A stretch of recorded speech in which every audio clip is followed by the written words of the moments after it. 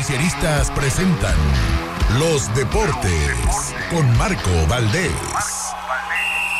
Marco, ¿cómo te va? Muy buenos días. Señor, ¿cómo está?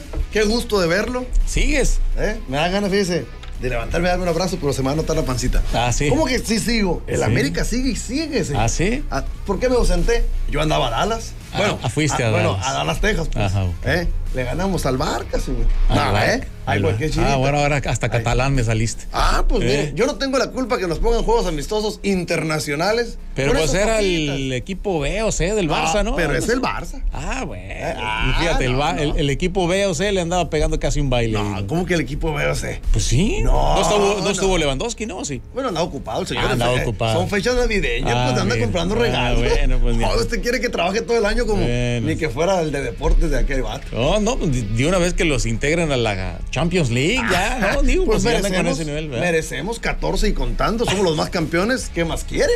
¿Eh? Bueno, pues adelante, Qué adelante. bonito, ¿ah? Adelante. Tengo todavía playeras de estas. No, no, gracias. ¿Mediana? Pues sí, ocupa para espantar a unos animalitos roedores que Le tienen. digo, le digo. ¿Y mi vaso? Ay, ¿dónde quedó mi vaso? Adelante. Bueno. Señores, ¿qué tal? ¿Cómo están? Es un placer enorme saludarles. Bienvenidos sean todos ustedes después de ese gran viaje donde fuimos a Dallas, en Texas, pues el vigente campeón de la Liga MX, el América, que se escuche con todas sus letras. Pues el Club de América sigue a la alza luego de ganarle a Tigres el pasado domingo. Si recuerdan que los goleamos 3 por 0. Ahora lo hizo de nuevo, pero en esta ocasión dio un golpe de autoridad ante el Barcelona de España, un equipo que con todo y sus estrellas no pudo ante las azulcremas al perder con marcador de tres goles contra dos. Julián Quiñones en par de ocasiones y Super Henry Martin puso el tercero en las redes para ver ganar al más grande, precisamente en Dallas, Texas, en un juego amistoso. Ya que estamos hablando de Henry Martin, el hombre nunca, queridos amigos, nos ha quedado mal.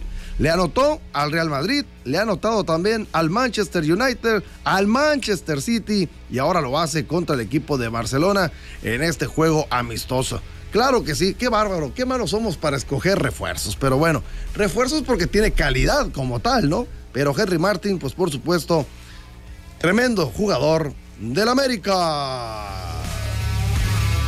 Y como parte de su preparación de cara al torneo clausura 2024 de la Liga MX, el equipo de Mazatlán FC sostendrá cuatro juegos amistosos dentro de su pretemporada. El primero de ellos será el próximo sábado 23 de diciembre ante el equipo de los Dorados de Sinaloa. ¡Qué agarrón, oiga! Encuentro que habrá de llevarse a cabo a puerta cerrada. Los dos siguientes encuentros se llevarán a cabo también en la ciudad de Guadalajara, primero enfrentando al Tapatíos, después al Atlas, 29 y 30 de diciembre respectivamente. Los cañoneros habrán de cerrar sus filas en casa con un encuentro amistoso ante el equipo de los Rayados de Monterrey el sábado 6 de enero en punto de las 7 de la tarde. Partido que habrá de jugarse puerta abierta para que la afición mazatleca pueda apoyar al equipo. ¿Y sabe qué? Ya están a la venta los boletos. Sí, señores, ya están a la venta los boletos. Aproveche usted porque el Mazatlán tendrá pretemporada.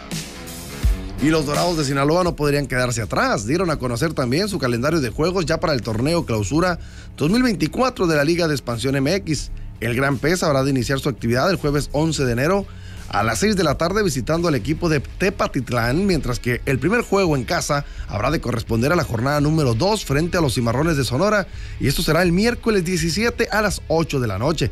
Los Dorados descansan en la jornada número 10 y entre los juegos que llaman mucho más la atención está el enfrentamiento ante el Atlante en el Coloso de Lumaya el jueves 28 de marzo.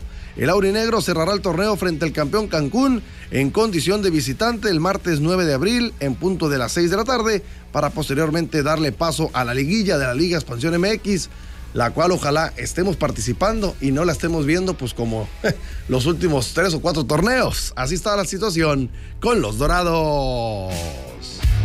Oiga, y en temas, eh, por supuesto, ganadores, la sinaloense Lilia Margarita Robles lució imponente en el Campeonato Nacional de Boliche Primera Fuerza que se celebró en León, Guanajuato, al sumar ocho medallas en las distintas modalidades. La Culichi dominó el torneo, pues se proclamó campeona nacional y fue la máxima ganadora con ocho preseas divididas en cinco oros y tres bronces.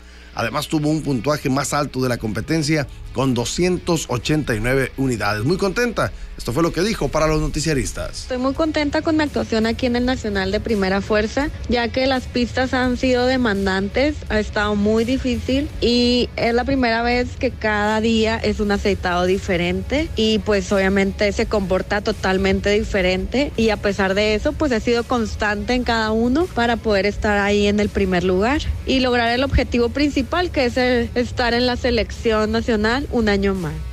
Bueno, pues estos admirables resultados le aseguraron a Lilia su lugar en la selección mexicana, claro que sí, en esta disciplina para el 2024 y la preselección para el 2025.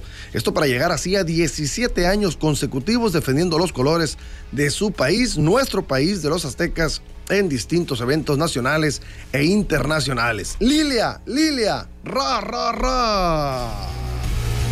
Oiga, y si creían que los Dodgers de Los Ángeles ya habían finalizado con sus destacadas contrataciones, después de haber firmado precisamente a Chonhei Otani, pues estábamos muy equivocados. Tras anunciar la llegada de otro oriental, de otro japonés, Yoshinobu Yamamoto. Sí, señores, la estrella japonesa que la organización californiana acaba de firmar por nada más y nada menos que 12 años y 325 millones de dólares. Así fortaleció su rotación de abridores a partir de la próxima campaña 2024 en las grandes ligas.